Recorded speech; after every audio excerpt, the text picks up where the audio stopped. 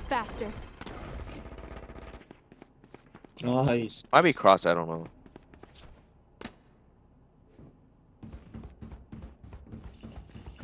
Here.